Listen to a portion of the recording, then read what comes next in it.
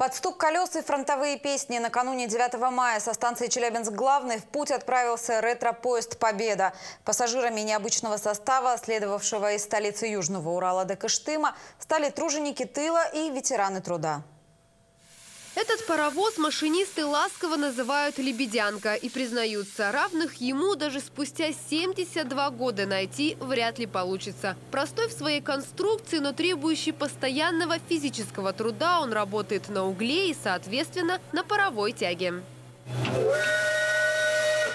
Паровозы 56 -го года выпуска начали выпускаться 46 -го года ну, номер у него, как сами видите, 4429. То есть за 8 лет было достаточное количество выпущено. Надежная техника. Эта техника надежнее современной, но и ездить не интереснее.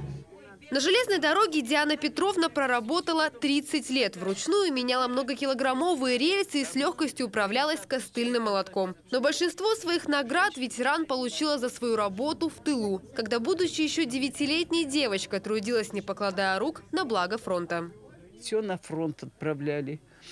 Яички, 50 штук яиц, кур держишь 50 штук. Коров 50, 50 литров молока сдать, все на фронт. 40 килограмм мяса, если держишь корову или не держишь мясо, если нет, покупай, но сдай фронту шерсти. Вот мы пряли, носки, варежки вязали, все на фронт отправляли. Ой, как встречали, встречали, обнимались, целовались, плакали. Это ужас, как, что кончилась война. Сегодня вместе со своими коллегами Диана Петровна почетный пассажир поезда «Победа». А это значит, что под фронтовые песни, стук колес и быстро меняющийся пейзаж за окном они вновь будут вспоминать военные годы и ту далекую победную весну. Анастасия Мельникова, Егор Голубкин, СТС, Челябинск.